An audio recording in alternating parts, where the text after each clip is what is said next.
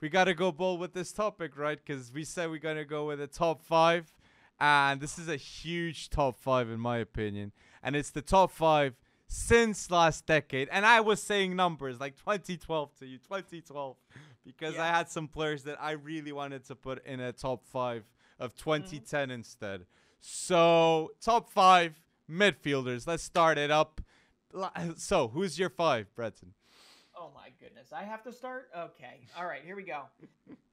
It's really not that original. Mm-hmm. It's not original at all. Okay? All I know is that there there are two teams that literally shaped my football fandom um, and I wasn't even fans of necessarily either of them growing up Mm-hmm. and they just so happen um, to this day uh, had some of the most rock solid and some of them still do uh, rock solid midfields on the planet um, so i am going to get probably destroyed in the comment section because i leave out a lot of really good players at clubs that might not have had the same Yep. success so So without without further ado at five Xavi okay. Xavi to me is tiki taka. When I think of tiki taka, I don't necessarily think of Messi. I think of Xavi. I don't know why. I just he just the, the little passes, just it was him. It was him. Okay. Four for me is Toni Kroos. Kroos. Kroos. Yeah. Tony four yeah, Kroos, yeah. Okay. Um, Oh, I you mean, wanna you wanna just say all of them, like like. Okay, uh, I'll say all of them. Okay. so- yeah, sorry, sorry. sorry, So sorry. let me start from the top. Five for me is Xavi. S- five. Four is Kroos. Three is Sergio Busquets. Two is Luka Modric. One, Andres Iniesta for me. Okay, okay, okay. Top Uh, five. you can rip me apart. I got reasons, but you know, Okay. it- uh, it's, it's very boring. Barcelona, Real Madrid. Could you? It's okay, okay. So I, I'm gonna say my top five. Okay, so my top five has at the five Toni Kroos. Okay, for me, pinpoint passes come with him. 350 games for Real Madrid. Legend, mm-hmm. legend status all around. Underrated midfielder. Number four, Thomas Muller. Okay, for me, one of the most underrated players in the history of football, and he passed Thierry in uh, the goal scorer uh, in the champ in Champions League goals. Thomas Muller. Okay, so 52 goals in the Champions League, and if I not if I'm not wrong, he did surpass Ozil too in assists in the Champions League. So I have to put Muller here in my four. Number three, Xavi. I agree with you. Xavi was immaculate. Xavi was one of the best passers I for sure saw in my lifetime. And yeah, I'm gonna put the two Iniesta. Okay, for me, Xavi wouldn't have been the same without Iniesta, and Iniesta wouldn't have been the same without Xavi. So I think this duo complements each other extremely well. Okay, Iniesta. I think what I love ab- why I put Iniesta number two ahead of Xavi because Iniesta I think he just would slow the game, okay, and he would pick the right pass all the time. And man, Iniesta was unbelievable. Uh, and my number one, as a lot of people must be must be calculating, it's Luka Modric. Okay, I put Luka Modric as my number one midfielder in the last decade. Look, I'm gonna say this: people hate on me when I mention the Ballon d'Or, but he's got a Ballon d'Or. Okay, he has a Ballon d'Or, and what we just saw against PSG, I would never mm. see Iniesta or Xavi do. Okay, we saw Modric going to a level that was pretty, pretty elite at 36.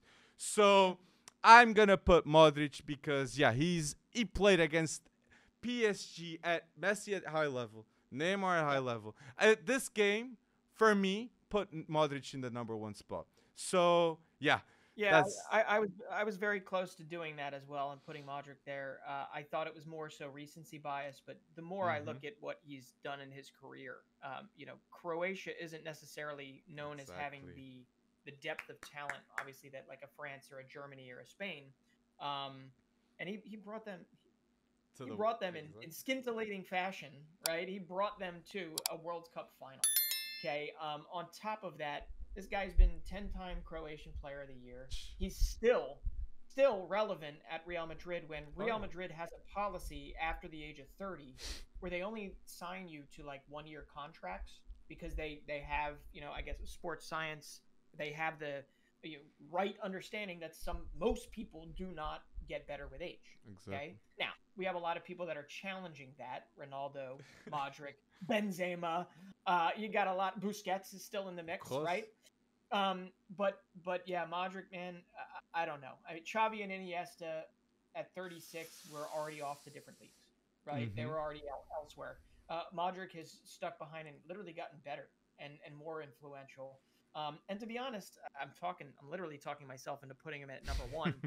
if Luka Modric was French or German, Exactly. I, I don't even think I don't even think that the whole world would even Excellent have an issue. Know? Excellent thi- point. yeah, I think Luka Modric would be number one on everybody's list. But for me, I, I think just watching Iniesta, um, Excellent. for me, watching watching Iniesta and what he did in terms Mhm. of nonchalance, in terms of just knowing the right thing to do, being able to turn on the jets. He had that sweet move where he'd bring you in, he'd he'd he'd deke one way and he'd suck you in, and then he'd use I, I don't know, like low center of gravity. Mhm. Just such like cool. Very good he was so bodybuilder. cool with what he did. Mhm. Um, that and and the fact that he looked fifty, you know, because of his hairdo. Uh, his- Bold. his receding hairline, right? When he was 25, he looked like he was 50. Um, I just, you know, nine La Liga titles, four Champions League, two Euro titles, one World Cup. You're right, though. Next to Xavi. Iniesta, Iniesta without Xavi, Xavi without Iniesta, be very different players. But Mhm. uh, the good thing is, is I never really had to see that. So It's true. It's true. Uh, and and and even like they always say that Barca, like Modric, when he arrived at Real Madrid, people were saying he was the worst signing in the of the in the history of Real Madrid. Real Madrid. So just the Yeah. fact that he went from the biggest flop ever to one of the greatest midfielders ever, num- wearing that number ten. Man, Modric elite level levels. And I was saying, if it was 2010, I would have put Wesley Sneijder. Okay, robbed the Ballon d'Or in my opinion. Schneider at Inter with Mourinho was one of the best midfielders I've seen in my lifetime. Okay, Pirlo, you said if someone ages like fine wine, it's this guy. Okay, Pirlo was out here like we were saying, how is this possible next to Pogba, balling and Vidal, Pogba, Pirlo midfield. Like that was one of the best midfields this decade, and Pirlo was aging like fine wine. And of disguise, disguise passing, uh, just amazing. Unbelievable. And two, I, I I have to mention here David Silva and Yaya Touré, Oh. Busquets, uh, Fabregas. Fabregas is a quick mention too. Fabregas, Mm-hmm. a lot a lot of promise. Okay, stayed at Arsenal. Then he could have the potential of Fabregas was a lot more too. So I think I think maybe he suffered with Xavi and Iniesta being Mm-hmm. above him in the national team. So yeah, but David Silva has to be. I Yeah, I love the Silva shout because you know he with his physical tools. And, Oh. and look, looking at him, you're like, this is not the guy. exactly. Like this is not the guy to run a midfield, and he was a wizard. and he um, went to but- City, like a Spaniard yeah. going to City. Like that was such a bold move to leave Valencia. Like he was one of the biggest talents in Spain, and he said no. Like Isco, like he did a bold move too, going to Real. So like it's all about decisions, and David Silva made the right decision. No, no De Bruyne for your in your five. No, uh, no De Bruyne in my five man. I put Kroos, Muller, Xavi, Iniesta, and Modric. I, I can't put De Bruyne ahead of any. uh, I don't put De Bruyne ahead of Kroos. I don't. Yeah, That's yeah, you need. Yeah, that was my that was my it was De Bruyne, Kante, Busquets. Like I was Yeah. like even Busquets. Do I put Kroos ahead of Busquets? That was like my.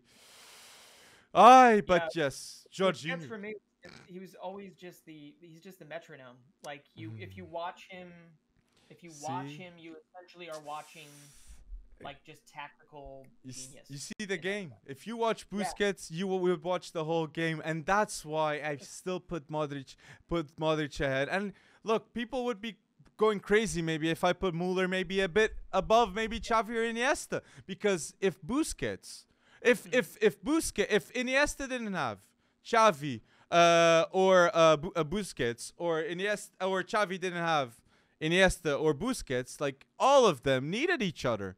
So, I, I, I, I don't even think that Busquets. I, it's such a hard take, man. It's such a hard Yeah, take.